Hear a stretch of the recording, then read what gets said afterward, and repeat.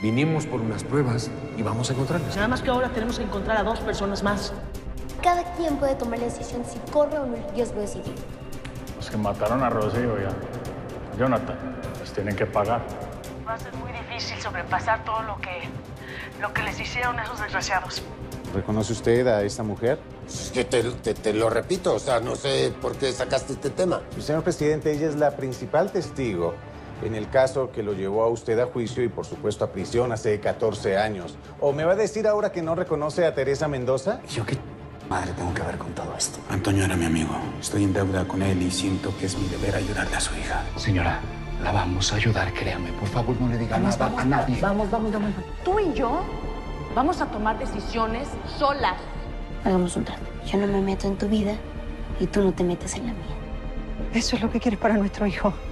Una criatura que antes de nacer ya está condenada a huir toda su vida. A estas alturas de mi vida, yo lo único que quiero es que mi pareja no me diga mentiras. Hace más o menos un año yo hice votos de castidad y terminando esto regreso al monasterio. Lo que siento por Tessa es diferente al cariño de un amigo. ¿Qué piensas hacer? Apartarme del camino. Disfruten su libertad. Agua ahí, se me cuida. Cinco millones de dólares están ofreciendo por información que los acerque a tu captura. If Mendoza is looking to become famous, we will help her out. A partir de ahora, quiero que todos, contigo, se pongan chips. Tú también, latero, ¿eh? Entonces vamos a necesitar más dinero. De la lana yo me encargo. Pero nada más que tienen un mes para cumplirme, ¿eh? Si no, se acabó el trato. La última vez que yo vi a Teresa Mendoza fue cuando ella injustamente me metió a la cárcel. Nunca, subráyalo bien, nunca más la he vuelto a ver. Un mes es muy poco tiempo para encontrar los dos jinetes que faltan. Pues ya lo sé, pero aparentemente el presidente de la República piensa otra cosa. Entonces esto ya está cincho, vamos hasta el final, ¿verdad? Hasta el final, pues no nos queda de otra. La DEA no nos dejó de otra, a mí no me dejaron de otra. ¿Y qué pasa si en un mes no hemos conseguido las pruebas? Pues Epifanio nos quita el apoyo y quedamos por nuestra cuenta. Así que ahí está. Ni modo. Hay que reunirnos los que fuimos a Bolivia para ver qué demonios vamos a hacer. ¿Por qué no nos dividimos? ¿Cómo? A ver, son dos jinetes, dos países. Nosotros somos 11. Las posibilidades se duplican si nos dividimos y unos trabajamos en un lugar y otros en otro. No solo los que fueron a Bolivia. La idea que tenemos con tu mamá, Sofía, es que tú y ustedes se queden acá bajo la protección de Faustino. Ah. Necesito que me cuiden. No, no, no, no, no, momentico, momentico, papi. ¿Usted quién le dijo que yo vine aquí a jugar a la niñera o qué? No, a ver, bueno, por favor, no se trata de que nos peleemos. Es nada más una idea que a mí me parece que es una buena idea. Sí, la Sheila puede quedarse con mi criatura aquí. César, ¿es que no vas a dejar de decidir por mí? Yo puedo sola. Esa idea deberíamos haberla hablado antes. Pues lo estamos haciendo ahora, Ole. Parecía más una imposición.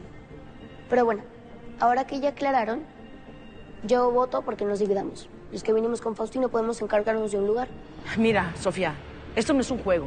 Eso es muy peligroso. No pueden solos. Ustedes no pueden solos. Punto. Oye, un momentico, un momentico, reina. ¿Y qué pasó con la confianza, pues? Usted sabe que Faustino Sánchez Godoy, mejor dicho, le mide a todo y todo lo saca adelante. No pues. se trata de confianza, Faustino, de verdad. No A es ver, es eso. que nosotros también nos hemos enfrentado a muchas situaciones, hemos estado huyendo de la DEA y aquí estamos. A ver, ¿qué parte no entendieron todos de cómo nos fue a nosotros allá?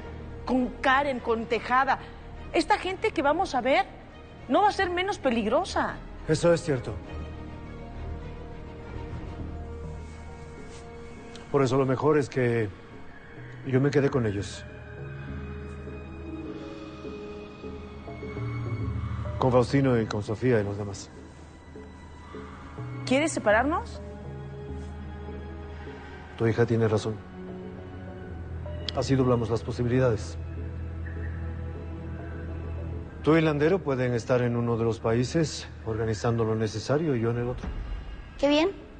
Ahora que todos decidimos, sacamos una gran idea juntos.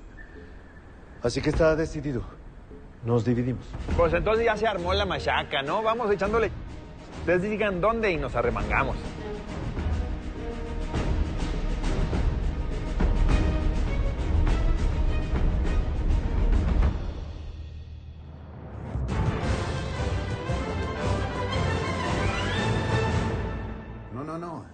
Puedo hablar. Lo único es que no me esperaba yo tu llamada tan pronto. ¿Pasó algo? Nada. Necesito que me aclares algo que es muy importante para mí. La información que Vanessa le daba al licenciado Alcalá tenía que ver sobre Teresa Mendoza. Mientras menos detalle. No, no, a ver. Creo que si yo me voy a meter en esto, lo mínimo es saber en qué diablos me estoy metiendo. ¿Por qué la pregunta? Entonces sí tiene algo que ver. En un principio no. Pero a raíz de algo que ella misma escuchó, ese se convirtió en el objetivo principal de sus averiguaciones. ¿Por qué la pregunta? ¿Pasó algo al respecto? El presidente está muy molesto con todo lo que ha pasado con Mendoza. ¿Vio los videos en internet? Se hicieron virales. Sí. ¿Qué dijo Vargas? Me pidió que olvidara el tema y que simplemente no hablara de esto, pero está bastante molesto. Ahora más que nunca tengo que reunirme con Genoveva. ¿Cómo vamos con eso? Pues en esas ando. ¿Podría ser más específico? Genoveva está deprimida, está muy mal. Necesitamos sacarla de ese estado para poder hablar con ella, para siquiera poder hacer algo. Yo en esas estoy, me estoy encargando, pero es una cosa... Oye, ¿me estás Necesito que esas notas qué? las canceles. Al señor presidente no permite que salgan. Perdón, señor presidente, las notas que no le parecieron están canceladas ya. Bueno, ya. ¿Y el niño dónde está? Eh, la niñera lo estaba terminando de arreglar, viene para acá también. ¿Y qué se tardan tanto arreglando un niño de cinco años, hombre? Está chiquito, con calzoncitos chiquitos, pa- zapatitos chiquitos. Lo entiendo, señor. Si gusta, el estudio está listo. Podemos ir pasando. El señor presidente... En cuanto llegue yo te aviso. Está bueno. Me avisas. A ver, vamos a darle. Compa, ¿y tú nunca te arrepentiste de, de no haber tenido un hijo con la Rocío? ¿Cómo así vas, man? ¿Arrepentirme por qué o qué? Pues, no sé, pues ahora que ya se fue, tendrías algo de ella para ti, ¿no? Pues, ¿qué le digo? A ver, es que tener un vampirito, pues como que nunca estuvo en los planes de la mamacita, ¿sí me entiendes? Y yo, pues, no necesito un pelado para llevar a Rocío en mi corazón. Ahora, tener un hijo es una gran responsabilidad, eso hay que pensarlo bien. Pues, ¿cómo ves que la Sheila quedó embarazada? Y tiempo de planear no dio ni nada. Tú sabes el dolor que siento por porque me mataron a mis chamacos, Sí. ¿no? Y la verdad es que pues este chamaco no lo quiero perder. Oíste, Basman, ¿usted cree que con ese nuevo hijo usted va a superar ese dolor? Pues no, no, no, pero pues por lo menos voy a tener algo mío, ¿no? Para mí. ¿Y lo de la venganza de Epifanio, que dónde queda? Pues digo, si la misión fracasa o los planes cambian. No, para mí los planes no van a cambiar. Con Teresa o sin Teresa, ese mató a mis hijos y va a pagar por lo que me hizo, ¿me entiendes? Entonces, mijito, tú haces como que entiendes todo lo que yo te estoy diciendo, ¿eh? Y si sonríes, mejor. Allá. Broma. No te pongas como tu mamá, ¿eh? De rejego. Ándale, No me gustan las fotos. Píntale aquí. No me gustan las fotos. Y eso, mijito, eso. Así, casual, ¿eh? Que se vea casual. Así, así. Le va a gustar a Cárdenas y a los persinados esos que lo siguen. Sí. Esta es la P y esta es la PU. Toma las fotos que no tengo todo el día para tomar fotos con este niño. A ver, hacemos una O y hacemos una I. Perdón. Eh, la persona que estabas esperando ya llegó. ¿Ya? Ya. Ok. Wichito, me vas a esperar aquí un ratito, ¿eh? Bueno, ¿y la niñera? Eh, no, no se preocupe, señor. Yo puedo hacerme cargo del niño, sin problemas. ¿Seguro? Yo me puedo no hacer importa, cargo mijito. de ti. Ahí encárgate de él. Acuérdate que es el este, ¿eh? Claro que sí. Vamos. Arriba, arriba. Aquí. Aquí. Eh, si gustan, pueden tomarse un descanso, un vaso de agua en la cocina, por favor, para que estén mucho más eh, relajados. Claro. Wichito, ¿quieres jugar a algo? No. Vamos a jugar a algo. ¿Un juramento? Sí. ¿Sí? Vamos a hacer algo. Un juramento del silencio. Yo te voy a contar algo, pero me prometes que no le puedes decir a nadie. Bueno, ¿Palabra de honor? palabra de honor. ¿Palabra de honor? Ni a tu papá le puedes decir, ¿eh? Porque si no, el secreto ya no va a ser válido. Bueno. ¿Eh? Sabes que un pajarito me contó que extrañas a tu mami y que tu mami te quiere ver. ¿Quieres ver a tu mami? Sí. ¿Quieres hablar con ella? Sí. ¿Sí? ¿Cómo hablamos? Ahorita yo te voy a comunicar con ella y le vas a mandar muchos besos y le vas a decir que la quieres mucho, ¿sí? ¿A poco no extrañas a tu mami, eh? ¿Eh? Pero esto es un secreto, ¿eh? Secreto. ¿Y entonces a qué debemos su visita, licenciado Aguilar? Para serle honesto, señor presidente, la decisión de que yo asistiera aquí viene de arriba. ¿Y que sus clientes no creen en Fabricio? Si no confiaran en mí, yo ya no estuviera por estos lados, señor presidente. No, pues eso sí, ¿verdad? Y entonces, su visita es por... Digo, no es que me moleste, pero sí me sorprende. Tiene que ver con la cantidad que le pidió el licenciado a Fabricio. Es demasiado alta. ¿Y eso lo dice usted o lo dicen sus clientes? Mis clientes, por supuesto. Ah, pero pues, para ellos eso es como arrancarle un pelo a un gato, hombre. ¿O qué? ¿A poco ya andan pagando impuestos? ¿Eh? No es que mis clientes no quieran colaborar. Al contrario, quieren y mucho. Pero quieren algo a cambio. Exactamente. Nadie mejor que usted sabe cómo funcionan las cosas, presidente. Está bueno. Pues usted pida. Nomás no se me vaya alto, ¿eh?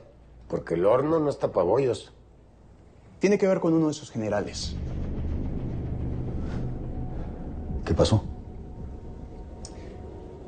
Resulta que el señor está siendo un poco molesto para los intereses de mis clientes. Y ellos quieren que usted haga algo al respecto. ¿Y eso no es como pedirle perlas a la Virgen? No creo. Teniendo en cuenta la cantidad que usted necesita, no creo que sea mucho.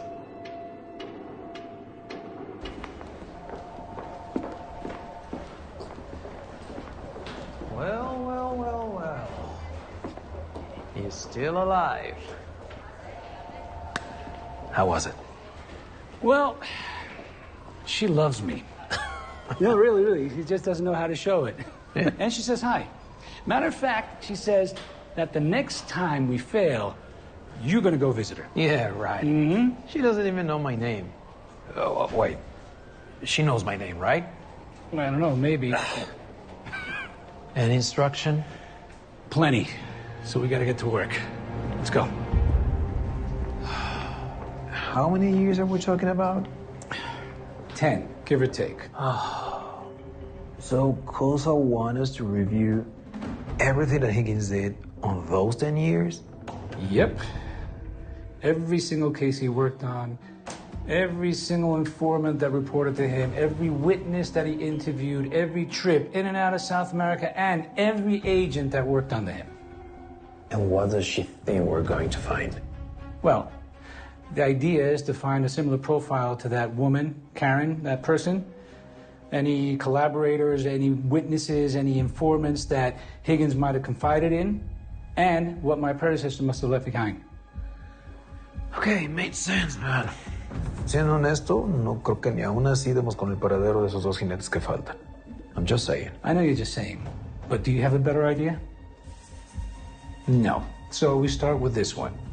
Now, you have access to any personnel that you want, but remember, An explanation. I know. And I like it. Exactly. So, let's get to work. No time to waste. That Teresa Mendoza bitch, she's not gonna beat my hand.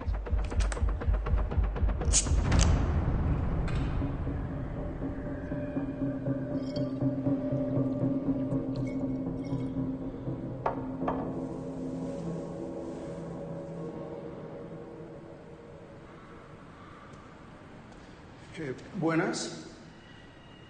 ¿Será que podemos hablar? Sí, claro.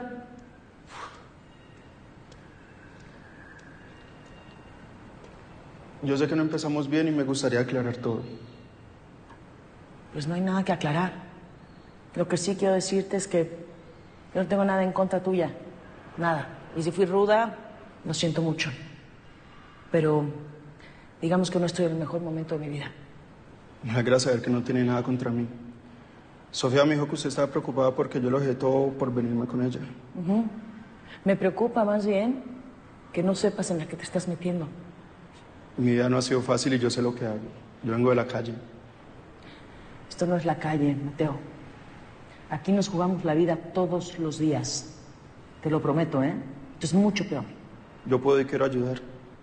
Es más, si no hubiera sido por mí, a Sofía los demás se lo lleva a la policía. Y si no hubiera sido por ti y por tu amigo el cura, la policía no hubiera estado tan cerca de agarrar a mi hija. Bueno, Sofía y Faustino son los que me tienen que perdonar por eso, y ya lo hicieron. Tiempo. ¿Mm?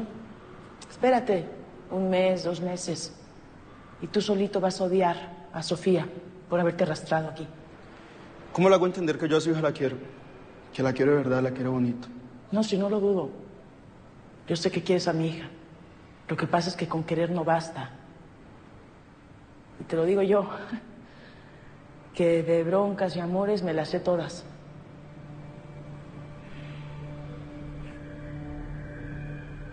Ay, Danilo, yo no sé cómo acepté hacer esto.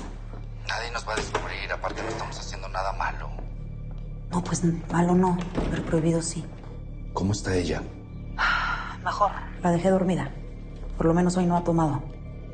Bueno, pues date prisa, que no tenemos mucho tiempo. Ponla al teléfono. Ay, espérame tantito, tampoco puedo entrar a su cuarto así nada más. Señora, Tu mamá. Mira. Tu mami. señora, disculpe que la despierta así, pero hay alguien que quiere hablar con usted. No, no quiero hablar con nadie.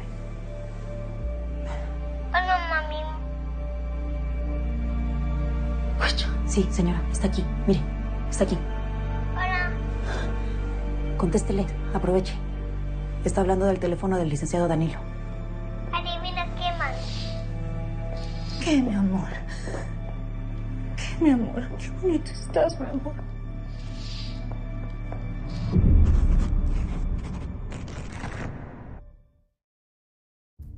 Pues si te gustó, yo que tú le daba un like y me suscribía ahorita para poder ver más cosas de la Reina del Sur que no vas a ver en otra parte. Suscríbete ya.